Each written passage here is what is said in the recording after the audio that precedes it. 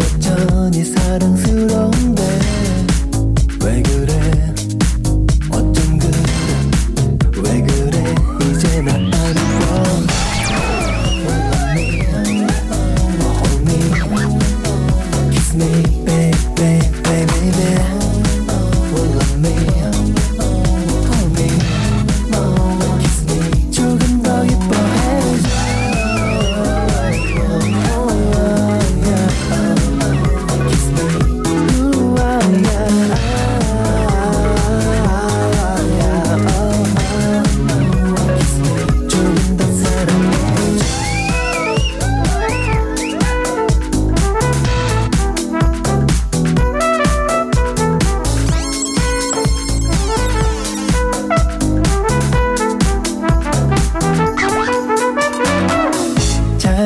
사랑해.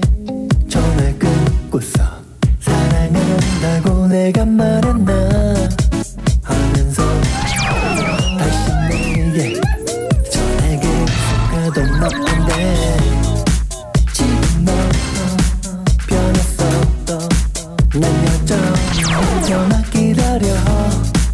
왜 그래? 어쩜 그래? 왜 그래? 이제 나 지금